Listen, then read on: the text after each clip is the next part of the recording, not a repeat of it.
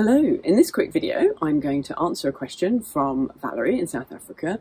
She wanted to know about her soil. How does she know what type she's got and what to do with it? So I'm going to play you an excerpt from my 5 minute plant expert course which shows you how to know what conditions a plant needs just by looking at its leaves.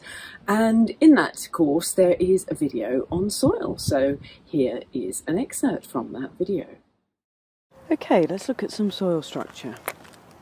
Now what you need to do is find a patch of earth and just dig a hole. Dig down to about the spade's depth.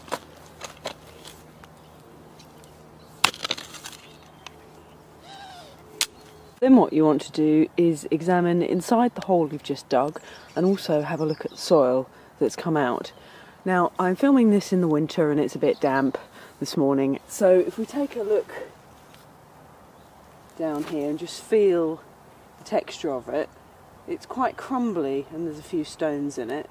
Now, if I squeeze this really tightly, I can make it into a ball. So squeezing this into a ball, you can see that um, it's not falling to pieces immediately. So there's some clay content in this. But if I just squeeze it a little bit, notice how easily it all kind of falls to pieces and breaks down. So although there is some clay content in here that's keeping the moisture, there's not so much that it's sticking together um, like the clay you'd use for making a clay pot. So this is actually, considering this is the middle of winter, this is actually pretty good draining. So here's another soil, very different colour from the one we looked at in the last segment, and it's very dry at the moment. So I'm just going to dig down and see what this soil tells us. Now it's so dry here, and the there's lots of tree roots here. I'm certainly not going to be able to get round to a spade's depth. So what I'm going to do is just fill in what I've dug so far with some water, just so that I can do the dig and squeeze test.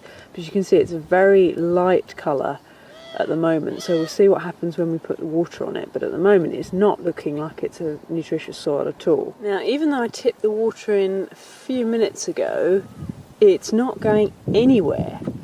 So this soil is really, really compacted because with considering how dry it's been and this just not going down at all, when it's this badly compacted, you really need to either double dig it or better still get some machinery in that will get down um, with a blade to the subsoil and turn that over. But anyway, we'll have a play with the soil we've got.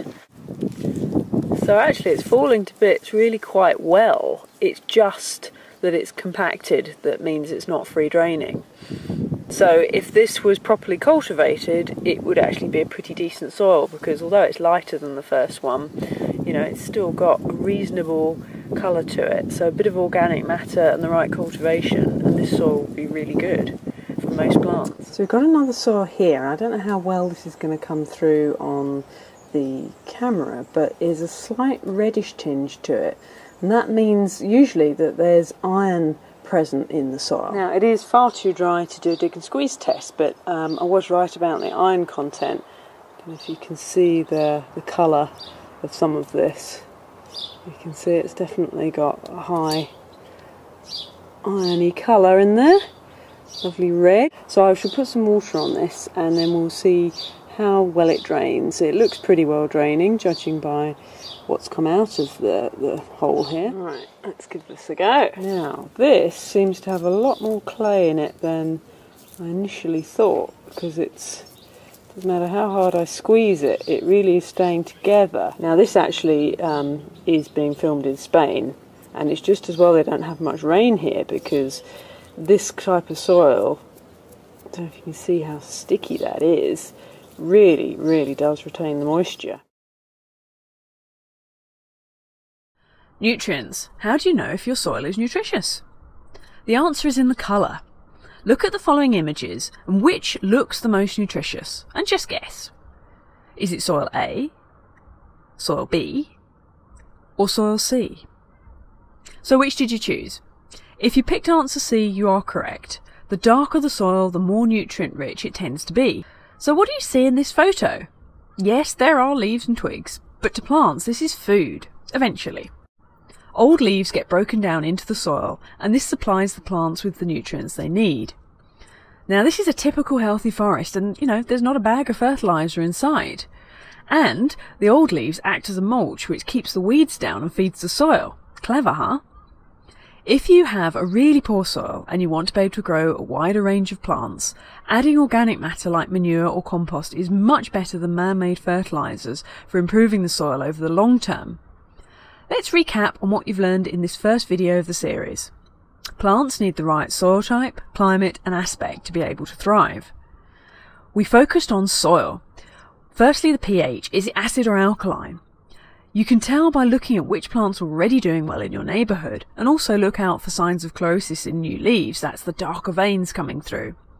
Then we looked at drainage. Is your soil dry or waterlogged? The dig and squeeze test on wet soils will show you how much clay content there is. If the soil holds together and doesn't easily fall apart when you squeeze it, it will hold water, and actually in the winter it may even become waterlogged, and again that will affect your plant choices.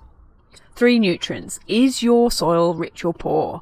Looking at the colour of the soil will give you a good indication of its nutrient content. The darker the soil, the more nutrients it's likely to contain. You can't really change the pH of your soil, it will revert back over time, but you can improve drainage and nutrients by adding organic matter to the soil. So I would add to that excerpt that if you've got a really poorly draining soil, that you do need to add some grit to it to help with that drainage. And as much as I'm into no dig, if you've got a very compacted soil, initially you do need to get down and relieve that compaction because having air in the soil is a very important component. So, as much as we all love our plants, the most critical thing to get right first is your design layout because without a good design layout, it won't matter how wonderful your planting scheme is, you'll never have a really gorgeous garden. So, if you'd like to learn more, I offer some free online garden design classes for small gardens, all size gardens, and professionals. And in these classes, I walk you through the three foundational levels of garden design and the nine steps that it takes to create a gorgeous garden. So if you'd like to attend one of my classes, just head on over to successfulgardendesigner.com forward slash free dash classes. So until next time, take care. Bye bye.